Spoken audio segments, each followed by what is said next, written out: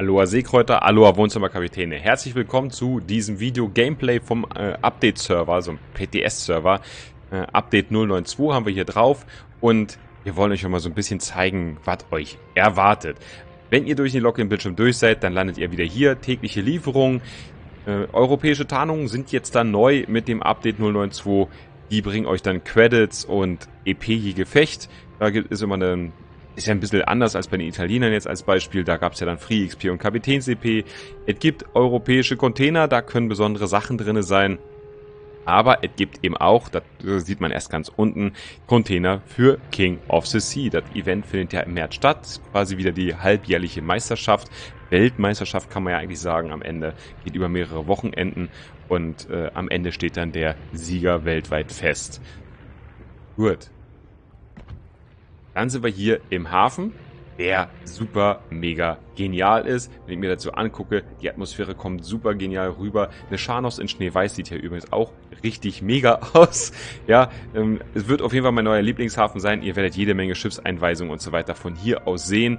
Äh, da bin ich mir ganz, ganz sicher. Ein europäischer Hafen absolut toll hier mit der U auf den Pongtongs. Äh, irgendein Haus ich mir hier aus, da wohne ich dann. Vielleicht ein Stückchen weiter außerhalb, das würde mir ganz gut passen der ruhigere Typ vielleicht.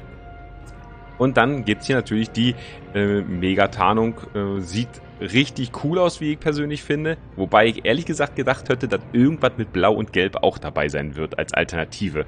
Mal schauen, vielleicht bringen sie noch irgendeine Premium-Tarnung, die sie noch nicht angekündigt haben oder so. Aber ja, so sieht die Friesland in der europäischen Tarnung aus. Dann gucken wir uns mal an, was in so einem Container drin sein kann, den ihr euch entweder durch einen täglichen Login-Bonus oder eben durch Direktiven erfahren könnt. Es wird wieder vier Direktiven geben, jede Menge Aufgaben.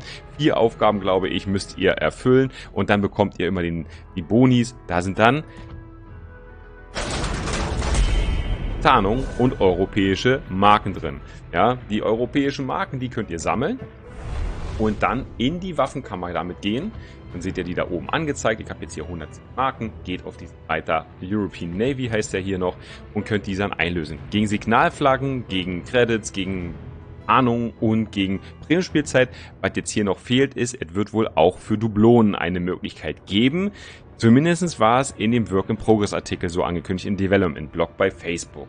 Also muss man davon ausgehen, dass das irgendwie kommt. Hier oben ist noch der Hauptreiter, wo ihr aktuell hier auf dem PTS nur für 1000 Dublonen diese ganzen Pakete hier freischalten könnt. Aber es könnte eben, oder es wird auch so sein, dass es eine Option für europäische Marken gibt. Und darüber hinaus könnt ihr dann natürlich auch die paneuropäischen Zerstörer im Vorabzugang bekommen. Von der Stufe 5 bis zur Stufe 9. Ja, also eine Stufe weiter, äh, wo ihr diese Sachen nacheinander freischalten könnt. Ihr könnt aber nicht zuerst den T7 und dann den T5 DD ziehen, sondern geht sukzessive. Ihr müsst T5 haben, bevor ihr T6 bekommen könnt, T6 haben, bevor ihr T7 bekommen könnt und so weiter und so fort. Also ähm, ein bisschen anders. Das ist aber längst noch nicht alles, was wir jetzt schon sehen können, sondern ich hatte euch in einem separaten, in eigentlich jetzt inzwischen zwei separaten Videos äh, schon über die Veränderung bei IFAE, HE-Penetration und Panzerungen berichtet. Du wird jetzt hier, stellvertretend für diese Sache möchte ich einmal zeigen, äh, dass hier die Penetration für die Sprengmunition um 1 mm zunimmt auf 20 mm. Ist bei diesem Zerstörer jetzt nicht weltbewegend, bringt eigentlich gar nichts, ähm, aber bei anderen Schiffen wird es massive Veränderungen geben. Da lege ich euch ganz doll ans Herz unser Game Changer Video und dazu einen zweiten Teil, wo nochmal Veränderungen vorgenommen wurden. Work in Progress. Wohlgemerkt, das ist ja hier dieses ganze Video eben auch, ne? Nur, dass ihr eben wisst, dass da standardmäßig noch einige Sachen geändert werden. Jetzt bin ich hier auf mein Profil gegangen und äh, es gibt auch neue Wappen in World of Warships, nämlich die für die europäische Flotte. Das sind dann diese Abzeichen hier, die ihr dann auswählen könnt, wenn ihr dann 25 Gefechte gewonnen habt oder 50, immer auf der Stufe 8 bis 10. Und das hier ist dann das äh, Top-Abzeichen, ja, wo ihr 100 Gefechte gewinnen müsst mit europäischen Schiffen und danach seid ihr, habt ihr dieses Emblem. Ist ganz gut gelungen, auch wenn ich es jetzt irgendwie naja, mit dem Rot, das passt irgendwie nicht. Ne? Das hätte was Blaues sein müssen, meiner Meinung nach. Am 4. April wird es einen Clan-Brawl geben auf der Stufe 10. Hier gegen 4 und von jedem Schiffstyp kann nur einer teilnehmen, also ein DD, ein Kreuzer, ein Schlachtschiff und ein Flugzeugträger. Also sind keine zwei DDs möglich zum Beispiel. Ne? Also muss von jedem Typ ein Schiff dabei sein und fertig ist der Lack. Darüber hinaus findet King of the Sea statt im März-April. Ich weiß gar nicht genau wann, aber es wird natürlich eine Sammlung im Spiel geben. Das erste Mal eigentlich. Und äh, die wird dem King of the Sea Turnier so ein bisschen gewidmet. Ihr hattet ja am Anfang gesehen, dass ihr nach 10 Tagen den ersten Container bekommen könnt, wenn ihr euch jeden Tag einloggt und damit die Sammlung dann losstartet. Wie sie dann weiter gesammelt werden kann, habe ich aktuell noch keine Ahnung. Also wird jetzt hier auch nicht äh, gezeigt. Man sieht halt nur die netten Symbole, die so ein bisschen angelehnt sind an äh, diese ganzen Erfahrungen, als ob als Zuschauer, als Zocker, hier Torpedos im Wasser, also eine ganzen netten Sachen, so ein bisschen comic-mäßig. Mal, mal gucken, was es dann dafür für Errungenschaften gibt, ob man da irgendwie dann wahrscheinlich Tarnungen freischalten kann. Das wurde ja vor einiger Zeit mal ausgeschrieben, äh, ein Wettbewerb, wo man da Tarnungen designen konnte. Da gab es jetzt den Gewinner. Möglicherweise wird sowas dabei sein. Äh, genau weiß ich es nicht, das ist auf dem PTS hier nicht zu erkennen. Zu meiner persönlichen Freude ist der Hafen Zipangu endlich wieder im alten Design im Spiel verfügbar. Es gibt jetzt wieder die Frühlingsversion mit den Kirschblüten, die hier durch die Gegend fliegen. Äh, es ist jetzt ein bisschen später geworden, also Sonnenuntergang oder Sonnenaufgang, eins von beiden wird es hier sein. Aber der Hafen hat jetzt nicht mehr diese eisige Variante, die ja hier anderthalb Jahre Einzug hielt. Ich freue mich darüber sehr begrüße ihn recht herzlich. Könnte also durchaus mal passieren, dass ich äh, dann auch mal von dem Hafen irgendwie streame zumindest. Sonst ist mir das eigentlich ein bisschen zu dunkel, um vom Schiff hier ein bisschen was zu zeigen. Auch der Hafen New York ist wieder dabei. Er ist jetzt wieder hm, entkleidet worden von Weihnachten sozusagen. Alles wurde abgehängt und wir haben jetzt hier wieder einen normalen Hafen.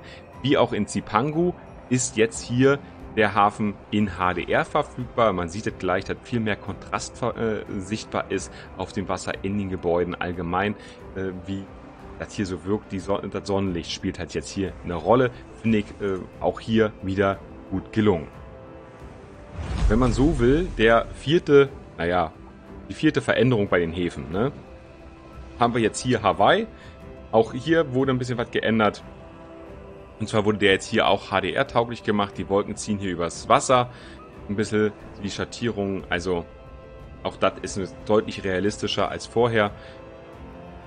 Ich mag jetzt Hawaii als Hafen jetzt nicht unbedingt so doll, aber das ist ja jedem äh, selbst überlassen.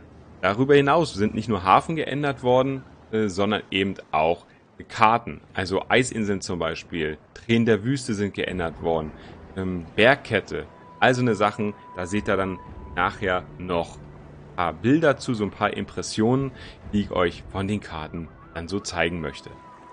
Außerdem war ja eigentlich angekündigt, dass es noch einen neuen Kapitän in World of Warships mit dem Update geben könnte. Einen einmaligen historischen Kapitän, nämlich äh, Jersey Swirsky.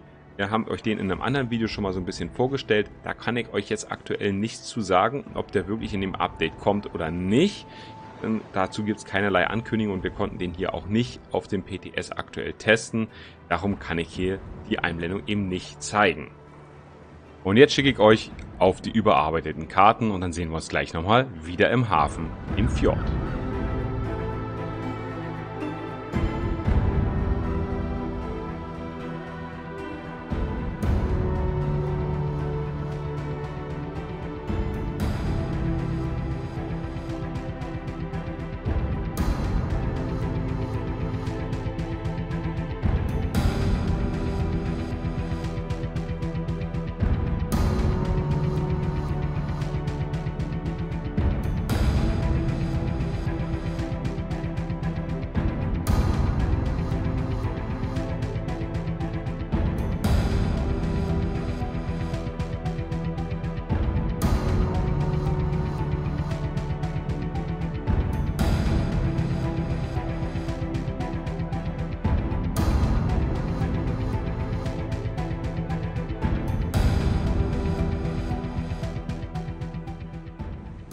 Was ich euch aber abschließend noch zeigen kann, ist, dass jetzt die Tarnung Infernal auf Flugzeugträgern zu benutzen ist. Das war nämlich vorher nicht der Fall, dass man dafür, dass die für Flugzeugträger freigeschaltet waren. Jetzt ist es eben möglich.